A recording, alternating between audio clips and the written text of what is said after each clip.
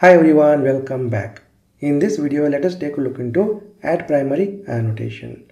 Well, we use add primary annotation to give higher preference to a bean when there are multiple Spring beans of the same type.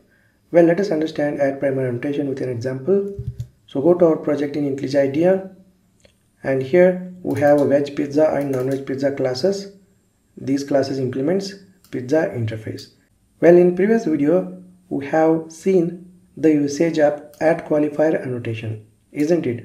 So if there are two or more Spring Beans configured for the same type, then Spring IOC container gets confused like which Spring Bean it have to inject, isn't it? So in order to avoid this confusion or ambiguity, we have used add qualifier annotation.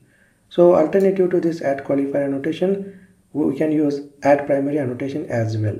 Alright, for example here, let me remove this add qualifier annotation and let us see how to use add primary annotation. Well, let us say the pizza controller want veg pizza spring bean as a dependency. Then we can go ahead and annotate this veg pizza class with add primary annotation.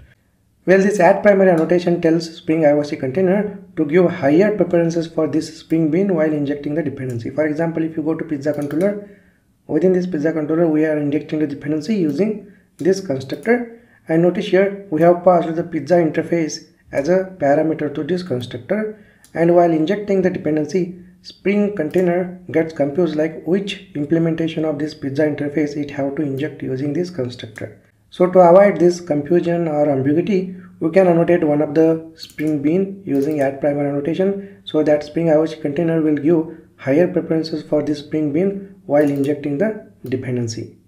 Alright now we have annotated veg pizza class with add primary annotation so spring IOC container will inject this veg pizza spring bean in a pizza controller.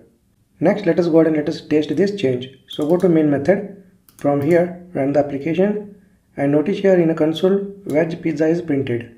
Because we have used add primary annotation to tell spring IOC container to give higher preferences for this spring bean and inject this spring bean in a pizza controller isn't it? Next let us say you want to inject non-veg pizza spring bean in a pizza controller. Then you can go ahead and annotate this non-veg pizza class with add primary annotation. Next go to veg pizza and remove add primary annotation from veg pizza class. Now now this add primary annotation tells spring container to give higher preferences for this spring bean while injecting the dependency. For example if you go to pizza controller here we, we are injecting the dependency using constructor right? So now Spring IOC container will inject, you know, non-veg pizza spring bean using this constructor. Alright, so let us test this change as well. So go to main method. From here run the application and notice here non-veg pizza is printed in a console.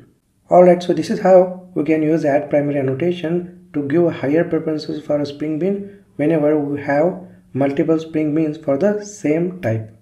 Alright, great. I will see you in the next video.